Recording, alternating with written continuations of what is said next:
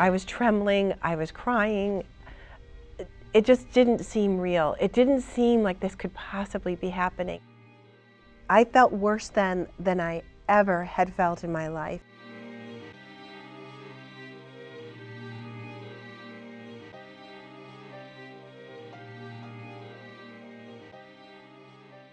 In 1993, I was tied, bound, and raped in my home in the middle of the night. I was sleeping, I awoke and saw a masked intruder enter my bedroom. I had no time to react. He cut my clothing and he raped me. And um, at one point, he took a gun and put it to my mouth. After a time, I heard him walk down the stairs and shut the door behind him. And I could not believe that I had survived. I made a decision to run for help. And a neighbor whose home I ran to called 911. When I got back to the house, the police had arrived on the scene, and an officer that was there suggested I go to the hospital. And I did. Every two minutes, someone in the U.S. is sexually assaulted. 60% of sexual assaults are not reported to the police. If a survivor chooses to report, they go to the hospital to complete a voluntary rape kit. There are two different evidence collection kits thus far. One is for the collection of physical evidence, the other is for the collection of evidence that is related to drug facilitated sexual assault. This sexual assault kit was developed probably about 20 years ago. This kit is the same kit that's used in every hospital. At the present time, the CT100 and the supplementary toxicological kit, right, are very complete.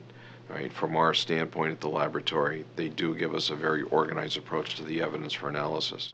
Despite the importance of the evidence collection, having a rape kit administered can be a difficult process for a survivor to go through. It can be a recreation of the trauma. It's intrusive, the collection of evidence can include fingernail scrapings, oral scrapings, anal, vaginal.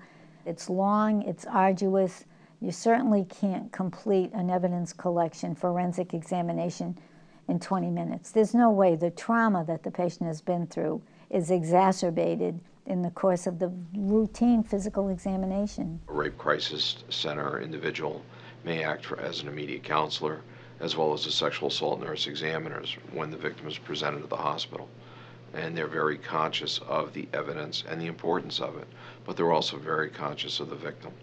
The collection of evidence is happening to a person, so it takes a long time before you can do that. And that patient may want to stop.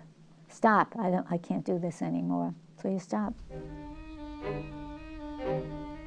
For me as a counselor, I'm going to wait until the victim leaves the hospital, and then I'm going to call the appropriate police department to say, this is Cindy from the Rape Crisis Center, I have a kit that needs to be picked up. The best case scenario from the laboratory standpoint is to receive the evidence as quickly as possible after the assault itself, with all due regard to the victim of the crime, as sexual assault is a very personal violation of the individual. Um, that has to be considered first. Right. After that, then we'll worry about the investigation.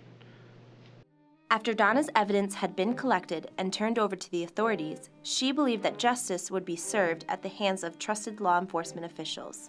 What happened next, she would have never predicted. I was healing, there's no question about it.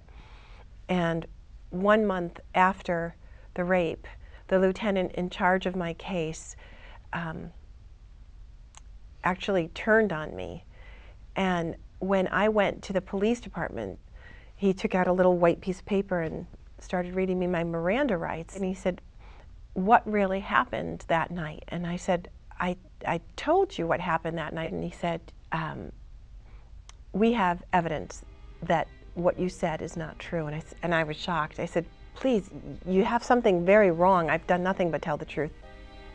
You know, you hear a lot of law enforcement say, oh gosh, well, we all know studies have shown that a majority of victims that come forward are alleging rape are lying.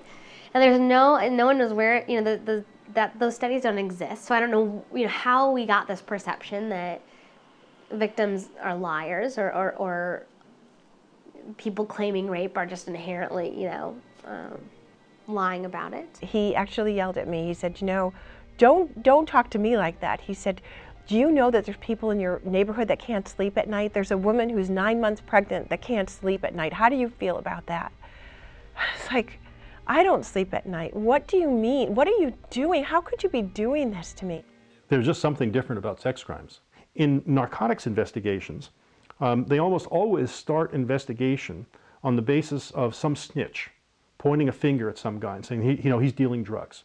Well, that's, that's not by itself very credible information, but they don't go up to the, the, the alleged uh, drug dealer and ask him if he's dealing drugs and, and end the investigation when he says no. They investigate this guy. And, and, and this is just basic police work. It is just simply in the area of sexual assault, for some reason, we think that we can't do that. And that the only way we can respond to a non-stranger assault is by interviewing the victim, interviewing the offender, and somehow trying to divine the truth after those interviews. And that won't happen. So part of the backlog is just that there's such a demand for DNA testing and there are not enough resources. Um, but when it comes to the rape kit backlog specifically, I think it sometimes comes down to a matter of priorities. And what we know is that very few rape cases that are reported lead to an arrest. You know, very few rape cases that are reported lead to sort of any kind of real serious investigation. So if you're doing sort of a perfunctory investigation on a rape case, you're not going to spend the resources to have a rape kit tested. If you look at the hierarchy of sentencing for, for crimes, obviously homicide is, is, is the most serious crime and you can get the most uh, lengthy prison terms for homicide. Almost in every state, right below homicide are your sex crimes. Um, and so on the one hand, as a society, we say that these are extremely serious crimes and we treat them very, very seriously. On the other hand, we, we don't investigate very many sex crimes very seriously. The vast majority of those crimes are, are non-stranger crimes. Um, and yet those crimes we don't really put a lot of, of, of priority on. We uh, were able to get Los Angeles to um, go in and count the kits they had in their police storage facility. They had been denying they had any kits in their backlogs. So they went in and counted for us, and they found 12,500. Um, and then we got them to change their law enforcement policies. So they committed to testing every one of those kits in the backlog, and they changed their policy. They had, did have a policy where they would only test kits when the detective requested a test, and that meant that a lot of kits got left behind. So they changed their policy to require that every single kit that gets booked into police evidence is sent to the crime lab for testing. There are very few jurisdictions that require that every kit be tested. Um, and, and, so it was very helpful to be able, when we were in Los Angeles, to be able to point to New York and say, you know, New York did this, so we know that it's possible. In New York's example, it was sort of the mayor and the police commissioner and the Manhattan DA's office really stepping up and saying, if we want to be known as a city that is responsive to rape, we can't have this backlog here. You know, I was raised to believe that you have the utmost respect for law enforcement, that they're there to protect and serve, and to be attacked first in my home when I'm asleep and thinking it's a safe place, and then to be attacked at the police station, which again should be a safe place. It was just difficult to comprehend, and so it affected everything. My healing came to an abrupt halt. I wasn't able to eat or sleep, and um, it was just really hard to even understand what was happening. Donna filed a lawsuit against the officer who had mistreated her. He claimed that the tapes he had recorded, her biggest piece of evidence, had malfunctioned. The chief, his brother, supported this claim. Donna's case was transferred to Officer Neil O'Leary. In 2004, in a seemingly unrelated incident, a 21 year old girl was attacked by a coworker, John Regan. Neil asked John Regan if he would comply and give a voluntary DNA sample, and a swab of saliva was taken from his mouth and we would find out two months later that it was a perfect match to the DNA in my case. He was thought to be uh, a happily married, church going father of three children, and they afforded him the best attorneys that money could buy, and he was out on bond $350,000 bond. And he was not able to be arrested in my case for the crime of sexual assault because of a statute of limitations. Even though we had irrefutable DNA evidence, he could not be arrested for sexual assault. It was absolutely maddening. So statute of limitations uh, with rape has been a uh, has been a big goal for advocates because I think um, again for such a serious crime it tends to have a very uh, surprisingly short statute of limitations. The statute of limitations in Connecticut at the time of my attack in 1993 was five years. He was found in 2004, which was 11 years later, and he could not be arrested because the statute of limitations had run out, even though there's irrefutable DNA evidence. So, one of the things that really I wanted to focus on was the fact that our laws need to keep up with the science and the technology that's available today. These laws were written when the technology wasn't there, so they may have made sense at the time, but it certainly didn't make sense now. For example, in California, um, the statute of limitations for rape is 10 years.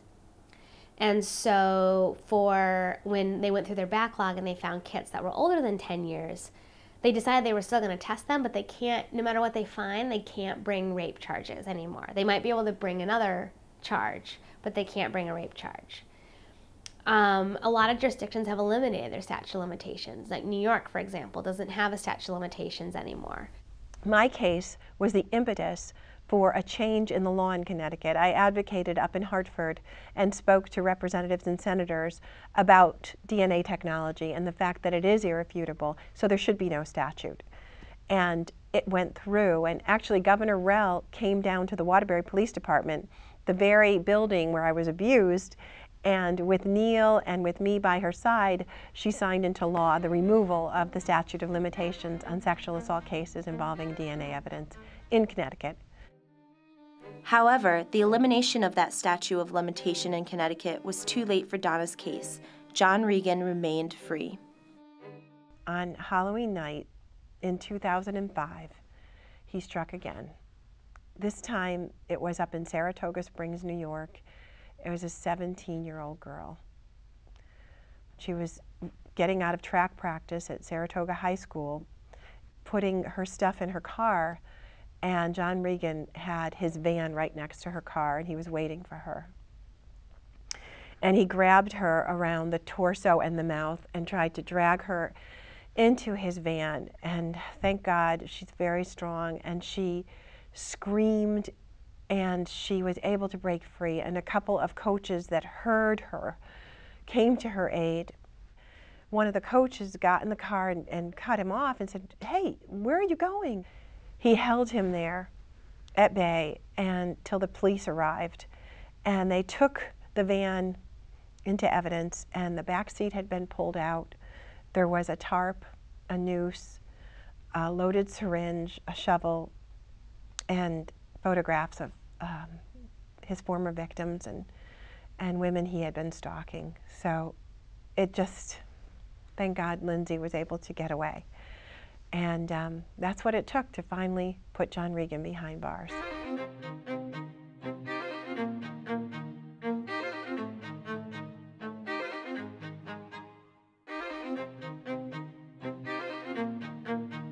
So, the mission of Joyful Heart is to heal, educate, and empower survivors of domestic violence, sexual assault, and child abuse. Um, and we do that through a variety of programming. Um, and part of that programming is our work to end the rape kit backlog in the United States. When uh, Jodi Rell was the governor, she set aside funds that would be used to train more nurses so that they would develop the skills to collect evidence in cases of sexual assault.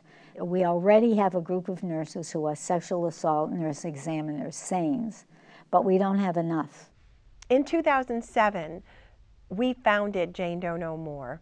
It obviously is born out of my personal experience, and our mission is simple. We want to improve the way society responds to victims of sexual assault. We are not a victim service organization, so we don't provide counseling to victims, but what we do is educate all the different audiences that victims of sexual assault come in contact with law enforcement, medical, legal and society as a whole. The goal is that sexual assault won't happen. The reality is that it will. And so then we have to look at what can we do so that treatment is more user friendly.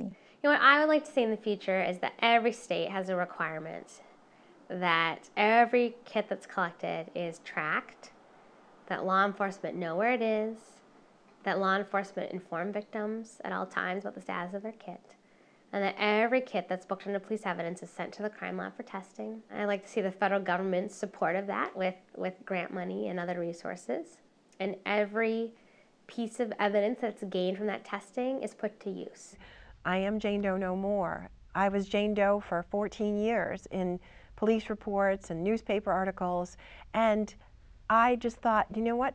If I'm going to come out and say, you should come forward, you could come forward and heal, then I need to have a face and a name attached to that.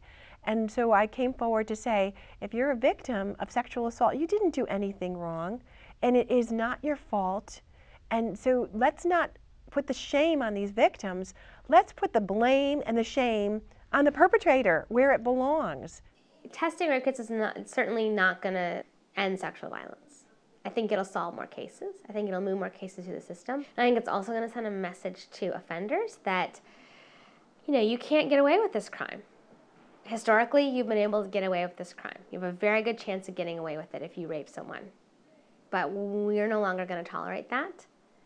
And if you leave evidence at the crime scene, we're going to come and get you.